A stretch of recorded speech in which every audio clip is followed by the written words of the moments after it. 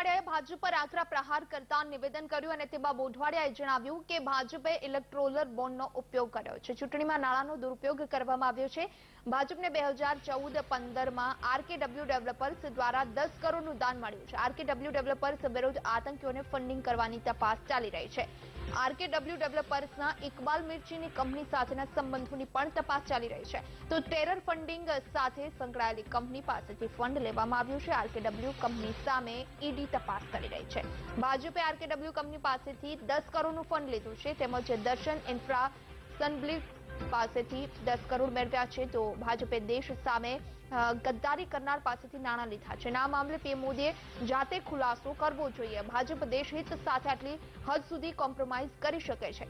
પ્રફુલ પટેલ પવાર સામે ચૂંટણી સમયે મુદ્દો લવાયો હતો. મહારાષ્ટ્રની ચૂંટણીને લઈ ખોટી રીતે મુદ્દો લાવવામાં આવ્યો હતો. આમ ટેરર ફંડિંગ હેઠળ જે કંપનીઓ ઉપર તપાસ ચાલુ છે, જે વ્યક્તિ ઉપર તપાસ ચાલુ છે, એમની પાસેથી આશરે વીસ કરોડ રૂપિયા જેટલું ફંડ ઓફિશિયલી ચેકથી મેળવવું છે. આ રીતે ભારતીય જનતા પાર્ટીએ જે દેશના સામે ગદ્દારીઓ કરી છે, મુંબઈમાં બોમ્બ બ્લાસ્ટ કરાવ્યા છે, એવી કંપનીઓ અને એવી વ્યક્તિઓને મદદ કરીને બદલામાં નાણાકીય લાભ મેળવા છે. પ્રધાનમંત્રીએ જાતે જ આ વાતનો ખુલાસો કરવો જોઈએ અને આ ટેરર ફંડિંગ કંપનીઓ છે, એનું નાણાં લેવાની કેમ જરૂરિયાત પડી એનો પણ ખુલાસો કરવો જોઈએ.